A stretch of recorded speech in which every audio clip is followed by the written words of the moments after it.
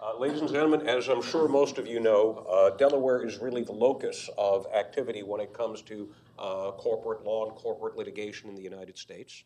And one of the major reasons for Delaware being the center of this activity, um, it's widely reported as being the excellence of the courts in Delaware, that litigants know that they can get a fair and prompt hearing from a bench that is widely perceived as being extraordinarily expert in matters relating to business law, corporate law, uh, and anything related to that. Um, and one reason why Delaware has that reputation really is the skill, dedication, and, and intelligence and experience uh, of the attorneys who serve on the Delaware Court of Chancery. There are other theories too. There, there are other theories, but they're, they're baseless, they're meritless. They, they, they have no value whatsoever. They're like flat earth theories. Um, but uh, one of the reasons, very simply, is you go into Chancery Court, you're going to wind up having your case heard by a person who is extraordinarily knowledgeable with regard to the matters that are going to be facing you. Uh, it's not going to be a random jury of 12 people uh, that have never addressed a complex business matter before. You're going to be able to get a resolution quickly, all right? And if there's an issue, you're going to be able to appeal it up. But in many situations, you get the resolution in chancery that solved the matter, uh, you, you resolve the dispute, and life moves on. Um, and again, uh, many of the people who serve as chancellor and vice chancellor do so at no small personal sacrifice. Um, being in the world of public service uh, today really is a calling. Uh, and I think it's very important that we uh, honor the people who are willing to uh, serve uh, in a variety of different capacities. Uh, and in that, uh, from that perspective, I hope that we'll give a very warm welcome to the Honorable Sam Glasscock III. This is not any old Sam Glasscock, I want you to know. this is Sam Glasscock III the, the Vice Chancellor of the Delaware Court of Chancery. And if you don't know what the appropriate way is to address a Vice Chancellor, it's Your Holiness. I'll accept your worship. Okay. I Your appreciate Holiness. that introduction. Thank you very much. Thank you. Thank you very much. Excuse me. I appreciate very much your, your asking me to come here and speak to you. Um, I thank you for that introduction, and I thank you all for the, for the invitation. Um, I, I look around, I see people here. I, I spoke at, at Santa Clara Law School earlier today. There were students there as well. I, I was gratified that my reputation had preceded me. Then I found out they were giving away free pizza to anyone who showed up. So um, I- I'm glad you're, I'm glad you're here without the pizza. Uh, this is my first trip to Stanford campus. It's beautiful, incredibly beautiful. Those of you who are students are lucky to be here, getting a fine education in such a stunning set of surroundings. I got educated. I went to law school at a lovely spot as well. I went to Duke University in North Carolina. And whether due to stupidity or masochism, I've remained a Duke football fan. Now, Duke got a chance to play Stanford this year, and I figured without Andrew Luck, this was our chance to sneak in and steal a win. And I was thrilled, was thrilled when Duke came in and hung 13 big points on the Cardinal, 13 points. Now, it would have been even sweeter if Stanford hadn't scored 50 against Duke. But, you know, when you're a Duke fan, that's, uh, that's what you come to expect. Now, you know from that introduction, I'm a judge, a vice chancellor in the Delaware Court of Chancery. My court is well known for its corporate decisions, and I would imagine as a result of that, most of you think of the Chancery Court, and that is to the extent you think of it at all, as a business court. Strictly speaking, that's incorrect. The traditional law I apply as a vice chancellor is not business law, but equity and fiduciary relations. That is, mine is a court concerned with institutionalized fairness. I intend to talk to you about a few current issues in corporate law that I hope will be of interest to you. But before I turn to that, I think it'd be useful, perhaps even interesting, for you to hear a little bit about what the Court of Chancery is and why, although it was not established as a business court, it is widely regarded as the premier corporate court in the country. This will also touch on why such a small and frankly obscure state as Delaware should be home to so many corporations. Now, I think it was Will Rogers who said that the difference between a storyteller and a lecturer is that the purpose of a storyteller is merely to entertain his audience, while the aim of a lecturer is to annoy. So I'm going to try to make this part of my presentation more of a more of a story and less of a lecture. The Court of Chancery, together with the Delaware Supreme Court, is among the main draws for companies deciding where to incorporate. These companies choose Delaware with astounding frequency. There are only three counties in Delaware. My home county is Sussex, and we're fond of bragging, if bragging's the right word, that we have more chickens than we have people. Delaware has more corporations than it has people. Now, let me, let me repeat that. With due deference to Mitt Romney, Delaware has more corporations than human beings. Delaware as a state exists because of a dispute between William Penn and Lord Calvert, and because Penn wanted his colony to have an outlet to the sea. We're one of the original 13 states, and we consider ourselves the first state because we were the first to ratify the Constitution. Delaware is 90 miles long, and it averages under 20 miles wide. It's really just a coastal strip on the west shore of Delaware Bay. Now, uh, are there any Delawareans or Rhode Islanders here? No, I didn't, I didn't think so. I don't know if a Westerner, a Californian, can really understand how small Delaware is. Delaware's smaller than the Death Valley Monument, smaller than Monterey County. It would fit with room to spare along the coast between LA and San Diego, and it has less people than San Jose. So it's a, it's, it's a little state. What draws all these companies to this, to this little state?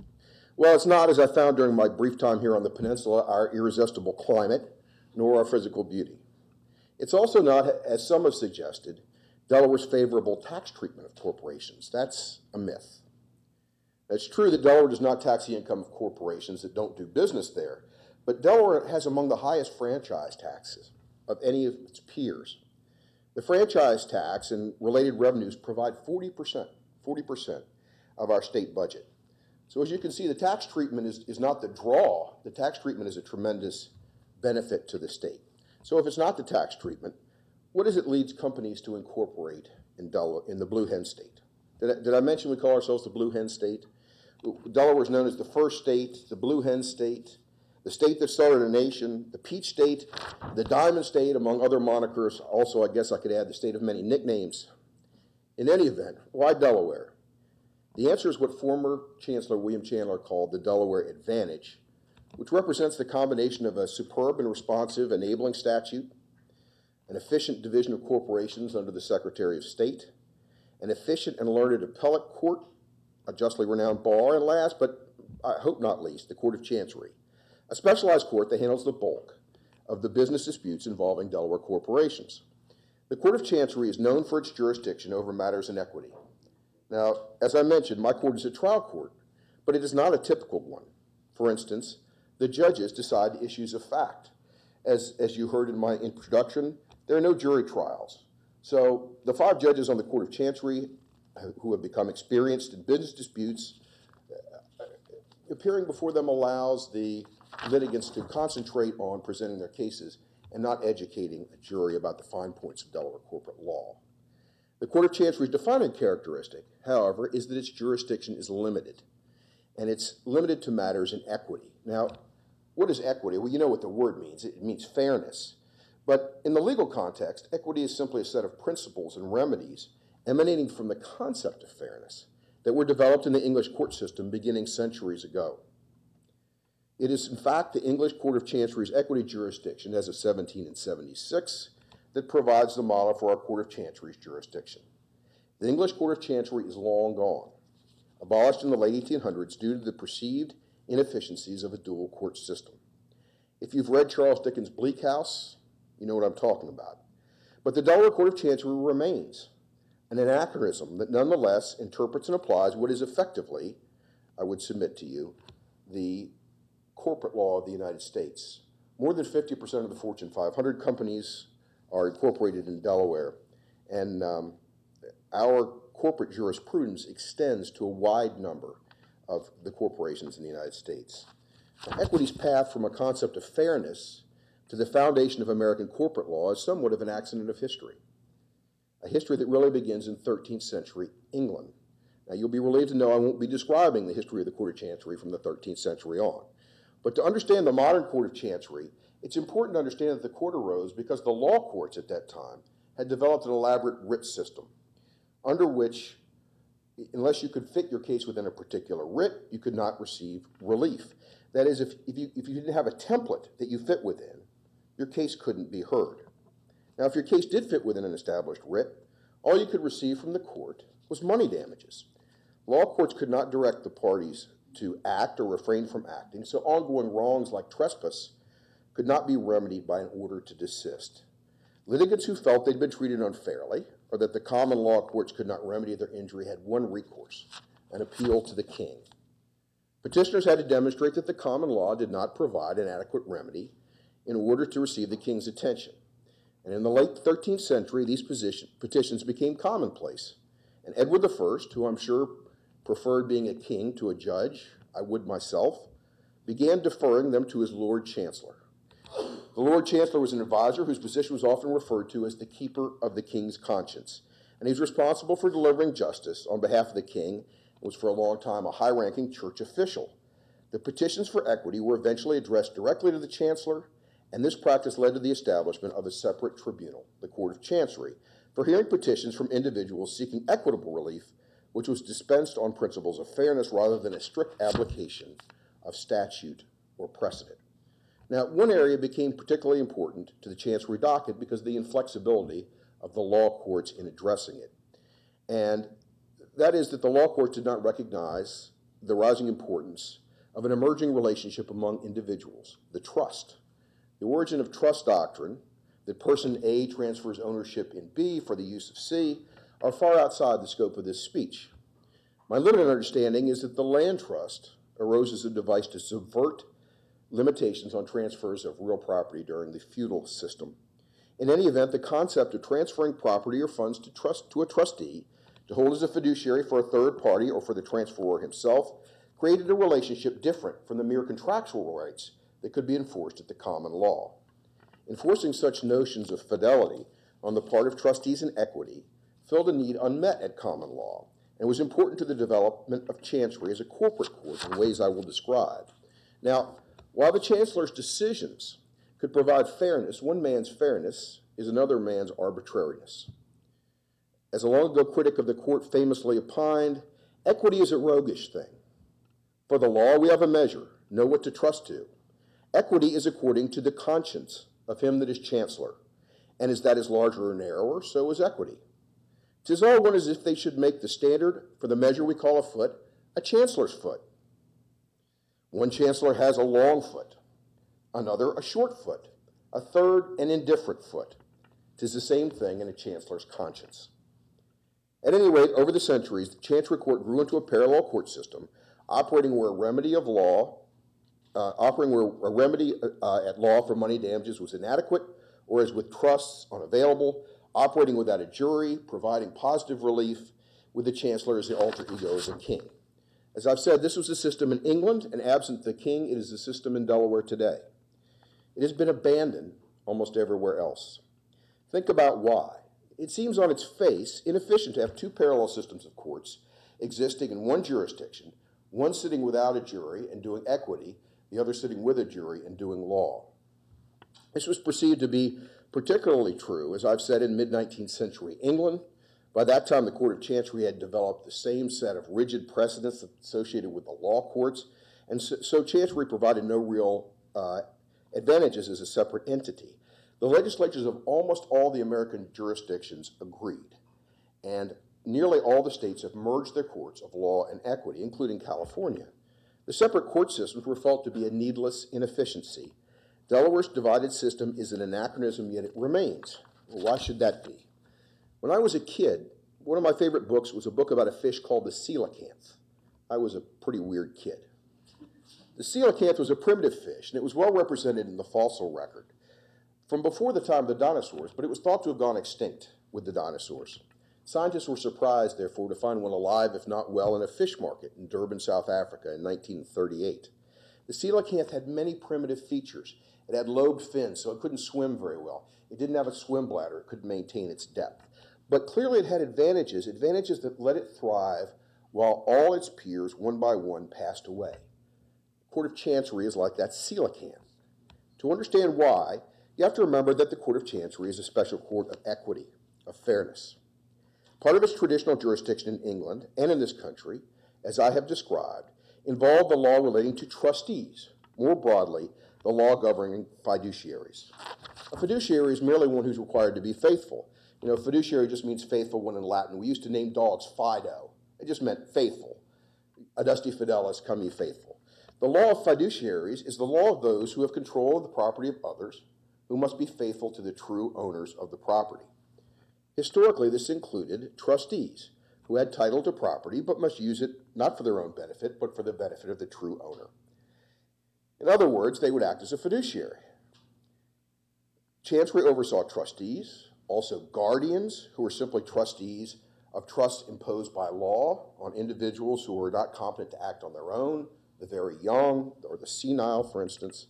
Um, Chancery, also oversaw executors of decedent's estates, who, once again, control the property of the decedent until the estate is wound up and it's distributed to the true owners, the, the um, beneficiaries under the will or of the estate, the heirs under the estate. So we, we, um, we acted uh, to enforce fiduciary rights, and as time went on, that began to apply to the officers and directors of corporations. Now, a corporation, of course, is an artificial entity, and it derives its power from the government of the state of its incorporation. Corporation has only whatever power is allowed to it by the legislature of the state in which it's incorporated. Originally, state laws for corporations were all very restrictive. Incorporation itself required a special act of the legislature. The corporation was permitted to exist only for a stated specific purpose. Imagine a Silicon Valley startup limited to producing only a single type of service and having to amend its charter to pursue every innovation. And you get an idea of the lack of flexibility of the early corporate form. Now, that slowly began to change around the country in the 19th century, and the corporate form became more flexible and thus more desirable to business people. Now, in the early years of the 20th century, Delaware passed a very liberal corporations law, liberal in the sense that it allowed maximum flexibility. And it allowed corporations to incorporate simply by following certain requisites and by filing papers with the Secretary of the State. That is, new corporations were no longer required to receive an act of the legislature, and the law also allowed businesses to operate for any lawful purpose. No longer was a specific business intent required. This law, combined with innovations in laws in other states, created the modern corporation. Now, the Delaware statute was based on the corporate law of New Jersey, and really it was cribbed from New Jersey. That state, however, abandoned its competitive advantage under the governorship of Woodrow Wilson, who distrusted power in corporate hands. Now, as a result of Delaware's liberal law, corporations began to come to Delaware. Now, what are corporate directors and officers? Well, they're simply fiduciaries, right? They're fiduciaries who hold the property of the true owners, the stockholders, and have to use and control that property, but must use it for the benefit of the stockholders. If the corporate directors act in their own interest at the expense of the stockholders, they're guilty of a breach of fiduciary duty, just as would be a faithless trustee who misused funds belonging to that trustee's beneficiary. Put in that way, the corporate law is not too different from that applicable to a trustee or to a guardian or to the executor of a estate. As I've already described, the law concerning trustees and other fiduciaries were under Chancery's jurisdiction for historical reasons. It was natural, therefore, that these disputes should fall to the Court of Chancery, uh, the corporate disputes should fall to the Court of Chancery. At the same time, uh, Chancery was a one member court, just the Chancellor. Even now, it has only five judges, and so as more corporations incorporated and reincorporated in the state, the judges of the Court of Chancery were repeatedly called upon to decide these corporate fiduciary issues. They quickly became familiar with corporate issues and developed a body of corporate law which gave predictable results to those bringing suit here. And predictability, obviously, is particularly important in the business context because it allows corporate actors to plan and take actions knowing they're permitted by law and likewise avoid actions which the court might strike down. So, like the coelacanth, that old fish, Delaware's Court of Chancery had lasted long enough to recognize a significant advantage of its unique attributes that separate it from the law courts. Not only was it a small court overseen by judges schooled in the law of fiduciary duty, who became experienced corporate judges, but it had other advantages as a corporate court. It could go beyond money judgments and readily issue orders based on equity, and thus could, for instance, enjoin mergers, which were unfair to the stockholders. Importantly, it operated without juries, as I've mentioned. Imagine how much easier it is for an attorney to present a complex corporate governance matter to a chancery court judge who's familiar with such issues and needs little education in the general area of corporations, versus presenting the same matter to a jury of 12 lay women or men who are undoubtedly skilled at what they do for a living but may have had no experience with corporations or corporate law, and who would thus need to be educated in the most basic matters before they could begin to render a reasonable verdict. Also, because no jury was involved, the Court of Chancery could act very promptly where fairness required, if necessary, even rendering decisions within the same day presented. For all these reasons, Chancery proved to be an ideal forum for corporate litigation. The advantages of the Delaware General Corporations Law caused corporations to incorporate or move to Delaware. The aggregation of corporations here provided the impetus for Chancery judges and in their appellate capacity for our Supreme Court to develop expertise in corporate law in turn, that expertise, together with other unique features of the Court of Chancery, as I've described, uh, attracted even more new corporations to Delaware in a kind of recurring feedback loop. This has led to Delaware being the main locus of incorporation among the states, with Chancery as the country's premier corporate trial court, and with the Delaware Supreme Court as its most important state appellate corporate court. Now, for the reasons I've described them, I've described, I'm really not a business judge. I'm just a judge in equity. So how does a common law judge, a judge in equity, address general issues of ethics and fairness with respect to corporations? And the answer is incrementally. For better or worse, in contrast to academics and law students, and actually, on reflection, it's better, a judge cannot seek out issues. They must seek her out in the form of actual controversies. While judges in my court realize our opinions are scrutinized for statements of corporate norms, as common law jurists, our rulings are limited to the facts presented to us. Our Supreme Court cautioned in a case just last week that the obligation of judges to write judicial opinions on the matter presented is not a license to use those opinions as a platform from which to propagate their individual worldview on issues not presented. And in that same spirit, I'll speak to you anecdotally and give you a couple of examples of recent cases I think would provide interesting fodder for those interested in this area of the law. But first, since i know some of the people here are laymen and others are students at various stages uh, of their law school career, let me give you a very brief background on Delaware corporate law, which, as I have said, is just a species of the law of fiduciaries. Taken broadly, corporate law itself is relatively simple. It's understanding the underlying, often very complex circumstances of the challenged transactions and the motivation of the actors that make the practice of corporate law so challenging for practitioners. And I think it is among the most challenging of the various areas of legal practice. The American corporation is premised on the stockholder primacy model. What that means is stockholders own the company. They have the right to control the destiny of the company, but at the same time, stock ownership is dispersed. And it would be impractical for stockholders to efficiently make decisions for the corporation. And you can imagine what such a system of control would look like if every decision required a quorum and a vote by the stockholders.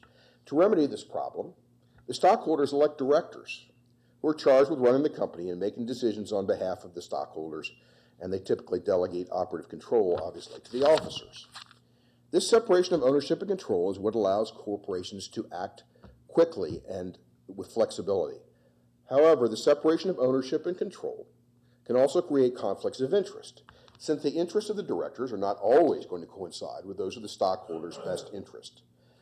To repeat what I've said, the directors are simply fiduciaries. They are holding the property of the stockholders, and as fiduciaries, owe duty of loyalty and care to those stockholders.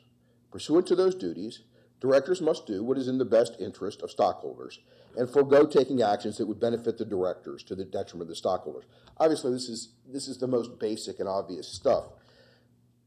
Now, trustees are fiduciaries. They're charged with husbanding and growing resources that they hold in trust.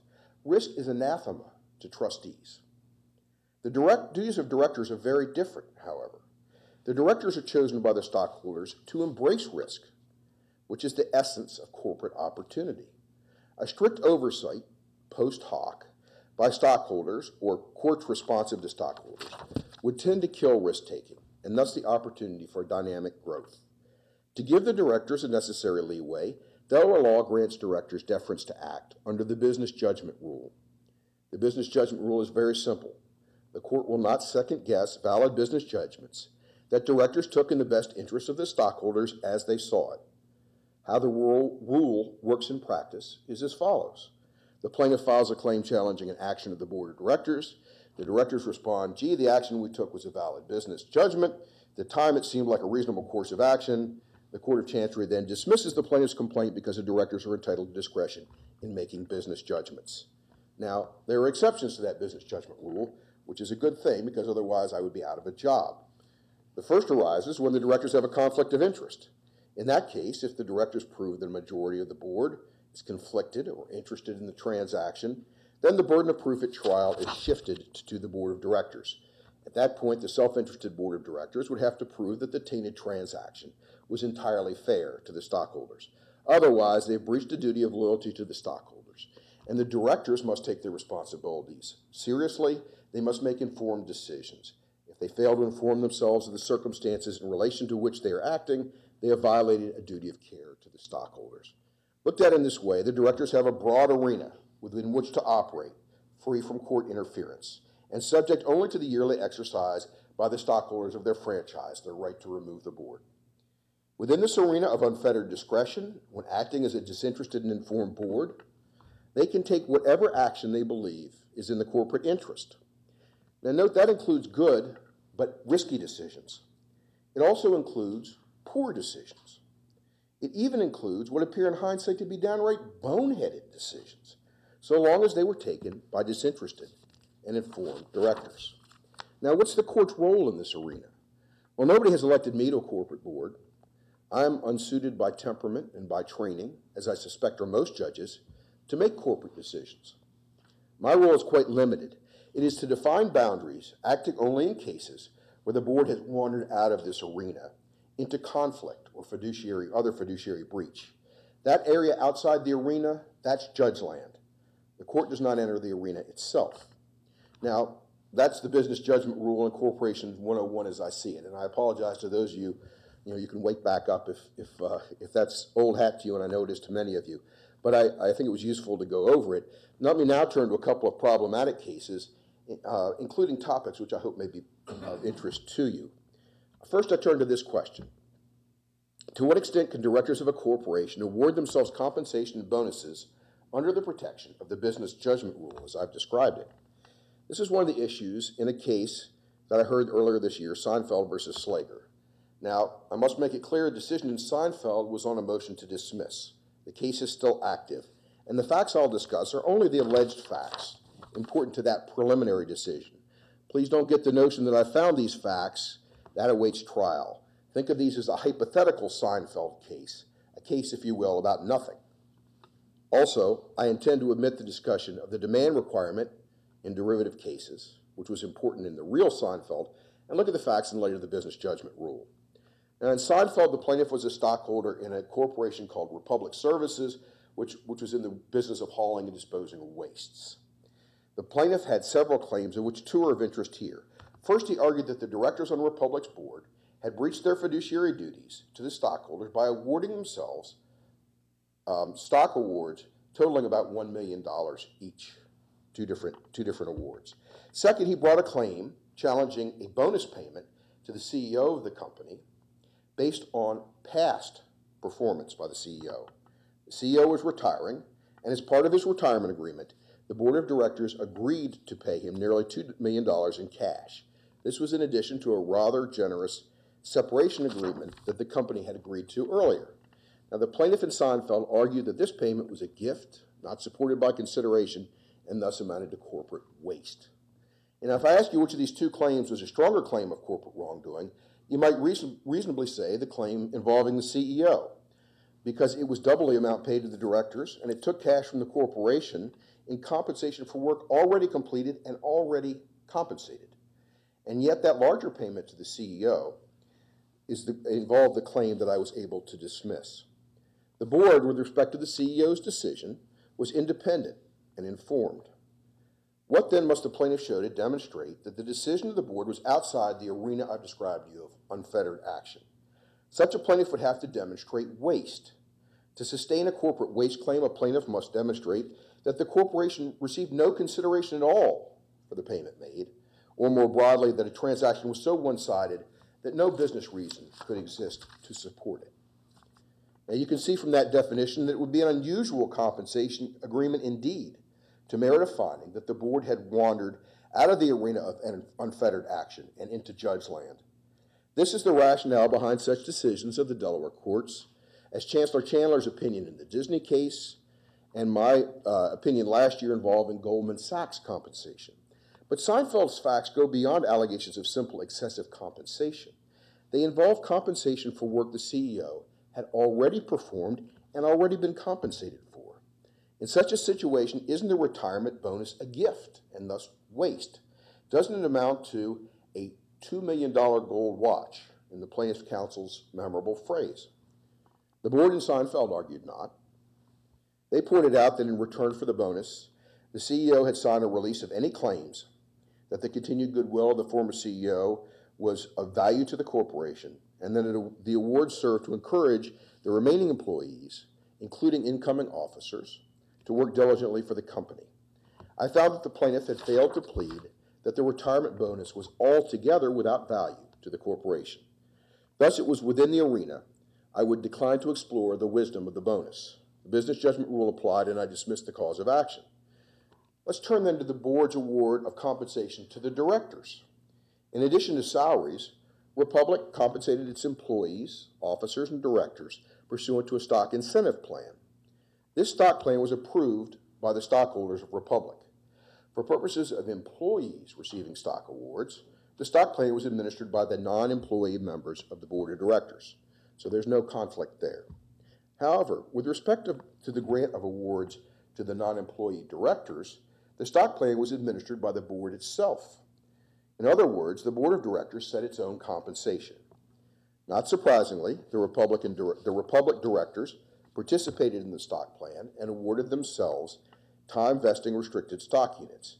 In 2009, the board gave each of its members $743,000 in stock awards, and in 2010, each director received $215,000 in such awards. In the complaint, the plaintiff stockholder alleged that these stock grants amounted to corporate waste because they far exceeded similar stock awards at peer companies. The defendant directors responded that they had done nothing wrong. True, they'd awarded themselves the stock units, but the stockholders had pre approved those grants under the stock incentive plan. Therefore, the crux of the director's arguments was how can we be disloyal to the stockholders when we're simply administering a plan that they've approved? Now, Delaware's corporate statute authorizes the board of directors to set compensation for directors and officers of the corporation.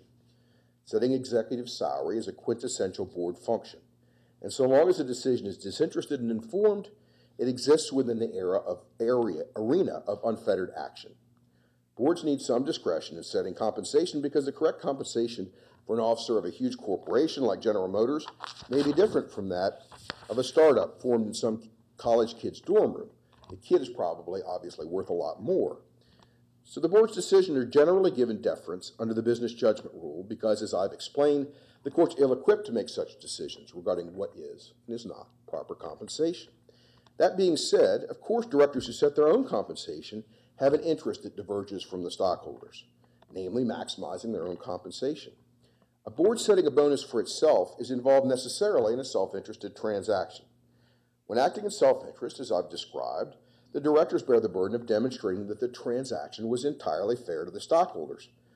The board in Seinfeld, however, pointed out that its actions, as I've described, were pursuant to the stock option plan that the stockholders had addressed by majority vote. Did this purge the self interest? was the question.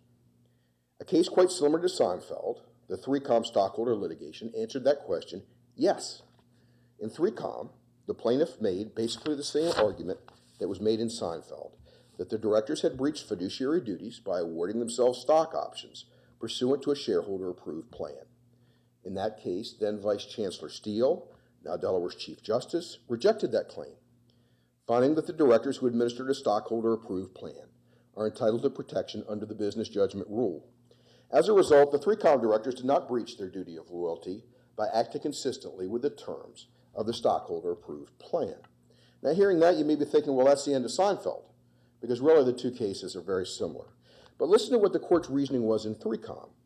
Vice Chancellor Steele wrote, I do not see this case as a case of directors independently or unilaterally granting themselves stock options, but instead a case where stock options accrue to these directors under the terms of an established option plan with sufficiently defined terms. Now, following that line of reasoning, there must be some limitation to a stockholder approved plan in order for it to shield the directors under the business judgment rule. After all, how can a plan have sufficiently defined terms if it sets no limit on a board's discretion? In other words, Delaware law does not allow stockholders to consent ex ante to any and all compensation schemes under which directors could award themselves a stock option.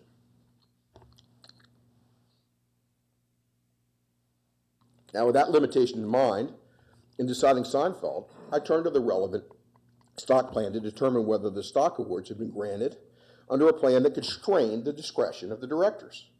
The terms of the stock plan were as follows. The board could award up to 10.5 million uh, units under the plan. A maximum of 1.25 million of these shares could be awarded to any one individual during any one financial fiscal year. Using these figures with a little arithmetic, I noted the stock price was around $25 a share. Assuming that the, there were 12 directors, the board could theoretically award each director 875,000 restricted stock units. At $25 each, the award to each director would be worth over $21 million. And the total would be over $260 million available to be awarded to the board. These were essentially the stock plan's only limits on the director's ability to award themselves stock. And these limits are so astronomically high, in my view, that they're not effectively limits at all. Obviously, these limits were not intended to actually restrain the, what the board was allowed to award itself. The constraint which a stockholder approved stock or bonus plan places on a board exists on a continuum. Though the stockholders approved the plan in Seinfeld, the plan must have some meaningful limit imposed by the stockholders uh, on the board in order for the board to be granted protection under the business judgment rule. A stockholder approved carte blanche to the directors is insufficient. Of course, that doesn't mean that the stock awards granted under an unlimited stock plan are per se invalid. It simply means the directors do not get the benefit of the business judgment rule at the motion to dismiss stage of the litigation. At the trial, which is yet to happen, the directors will have the burden to prove that granting the stock, op stock options that they actually did grant to themselves was entirely fair to the stockholders. If they prove that, they'll ultimately be successful at trial. Now, I said the constraint that any particular stockholder approved compensation plan places on a board of directors exists on a continuum. 3Com and Seinfeld, if you read them together, indicate that somewhere on that continuum, business judgment rule protections begin to apply. I'm aware this may be cold comfort to boards, unsure where they exist on that continuum. How best to draw that line is a matter for academics until fact patterns are submitted to the court, which allow us to flesh the matter out. Now, let me turn now to some issues raised in another recent case, Dias versus Purches. First, some statistics gathered by the U.S. Chamber of U.S. Chamber's Institute for Legal Reform. Of public companies valued over $100 million that merged or were acquired in the past two years, 91% of those transactions became the subject of multiple lawsuits. Another independent study found that the number of suits challenging proposed M&A transactions increased sixfold between 2005 and 2011. Plaintiffs' lawyers have increasingly been bringing claims within a very short time from a merger's announcement, usually mere weeks, sometimes mere hours. Now, this is understandable, since injunctive relief is only possible until the merger is consummated, at which point the eggs have likely been scrambled. These claims often allege multiple bases for recovery. They're often bought, brought in multiple jurisdictions in different courts. Some of these lawsuits challenge the price of the transaction and the overall value for shareholders. Some challenge the process the board used in order to uh, approve the transaction. Many challenge disclosures that are circulated to investors in proxy form before a stockholder vote to approve the transaction. Class action claims remedying corporate wrongs add value. Class actions whose claims are not viable drain corporate resources. Unless we believe, and I do not, that better than 9 out of 10 of public company mergers involve wrongdoing, too many actions are being brought. The question for me is what's the court's role in this problem? And is the court acting properly? Now, let me make it clear what I'm not talking about here. I'm not talking about the broad problem of multi-jurisdiction litigation, um, upon which much academic ink has been spilt and which is a, a, worthy of very serious consideration. My concern is narrower. It's with my court's role in setting incentives in these cases and whether we are getting those incentives right. Our Supreme Court recently affirmed a decision by the Chancellor in the Southern Peru case, in which my old law firm, Prickett Jones, with 21 lawyers and co counsel, achieved an award for stockholders in the amount of about $2 billion, for which the court awarded attorney's fees of $304 million. Now, that's my old firm, $304 million. We, have been talking about retroactive compensation. Don't you think a bonus for past employees would be fair? Sounds good to me. The award in southern Peru has fairly enough received a lot of attention. But actually, in a sense, this is an easy case because the benefit of a litigation of the stockholders is clear on its face. It's $2 billion. More problematic to me are cases where the claims involve inadequate or misleading disclosures in connection with the board's request that the stockholders act, and when they are asked to approve, as when they are asked to approve a merger.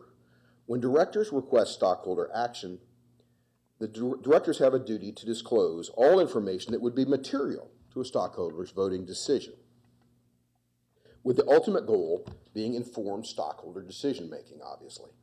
Accordingly, a duty is breached when there's an omission or misrepresentation that a reasonable shareholder would have considered important in deciding how to vote. The court is tasked with examining whether the sought after information would have significantly altered the total mix of information in the eyes of a reasonable stockholder. That is, to demonstrate a breach of duty, a plaintiff must show that the alleged omission or misrepresentation would have actually been significant to a reasonable stockholder's deliberations. Now, many of the class actions that challenge 90 plus percent of public mergers involve such claims. Without sufficient accurate information, stockholders cannot exercise their franchise, and a vote in favor of a merger is no more than a sham. Looked at in this light, Plaintiffs' class actions involving improper disclosures are not only beneficial, they are a necessity. Our system relies on class action plaintiffs acting as private attorneys general to, to um, enforce these, um, excuse me, uh, to bring these suits. But the real, prosecute, real prosecuting attorneys are forced to exercise prosecutorial discretion by a number of constraints, such as scarce resources and elections. The near ubiquity of merger litigation acts as a kind of tax, draining corporate resources that could be put to productive use. What is the analog of prosecutorial discretion in the corporate class action suits? In Dias, I said that it is the ability of bench judges over many diverse jurisdictions to shift fees in a way that discourages overuse and abuse of the class action mechanism while encouraging meritorious suits. Well, that's, you know, that's nice for a judge to say. It's pretty obvious, the hard part is in doing that. I went on to point out that the fact that merger litigation has gone from common to ubiquitous suggests that the current balance of incentives is flawed. Let's look at Dias. The Perfumania Parlux merger, which was at issue in the case, was announced on in December 23 of 2011. On December 27 or 29, a plaintiff's firm issued a press release that it was investigating Parlux board for possible breaches of duty in connection with the merger. Excuse me. The plaintiff, Dias, responded to the press release, and suit was filed on January 30, 2012. By that time, a proxy had been issued. The Dias plaintiff, the plaintiff and Dias, alleged that the board had breached its duty to disclose accurate, adequate information to the stockholders in more than 60 ways. The matter was litigated vigorously and decided after a hearing on Dias's request for a preliminary injunction. I found that the vast bulk of the disclosure claims were identical or very similar to claims that my court had rejected in other cases. One claim, however, had merit. The proxy indicated falsely that the bankers, uh, giving the fairness opinion, had relied on management predictions of future cash flows. In fact, the bankers had created their own estimates of cash flows, and the company had never itself undertaken that exercise. I found that the false imprimatur of Parlux's own estimates of future performance could cause a reasonable stockholder to give more weight to the fairness opinion that was due, and I ordered a supplemental disclosure. The merger offer was for cash at a surplus over the market, and the Parlux shareholders approved it despite the disclosure. Now, setting aside the issue of whether I was correct in finding the inaccurate disclosure to be material, how should the plaintiff's attorneys be compensated for achieving this result? What is fair to them? What is fair to the stockholders? And pertinent to this discussion, what is the proper amount to incentivize meritorious actions and discourage the other kind? Dias counsel sought $500,000. Now, let me say first that I am constrained by the concern that equity not be reduced, to use the words I quoted earlier, to the fortuity of the length of the chancellor's foot. In Dias, I relied on the factors set out by our Supreme Court to determine fee awards, chief among them the results obtained here, a single disclosure corrected, but also including the effort expended by counsel. I looked at other cases involving similar result, uh, results achieved at an equivalent stage in the litigation, for which our courts have typically awarded around $400,000 in fees. I then cut the fees in recognition of the fact that the effort expended on the valid claim must have been only a fraction of that expended on the case in, its entirety, and that the corporation had been forced to litigate, in addition to one meritorious claim, 60 odd non colorable claims. Now, ultimately, I awarded about half the fees sought. But the broader concern in cases like Dias is this what is the value to stockholders of such litigation? How many non meritorious actions are simply settled with the corporation agreeing to a few supplemental disclosures to minimize litigation costs and allow a valuable transaction to go forward? And how can judges discourage those types of litigation without discouraging meritorious litigation as well? Once again, I have the luxury of not answering such questions myself, professionally at least, until they're neatly presented and well argued by zealous counsel. That is the beauty of being a judge rather than an academic or a law student. Faced, therefore, with these difficult questions, I can simply say, that concludes my presentation. Thank you for listening to me, and if you have any questions, I'd be pleased to try to answer them.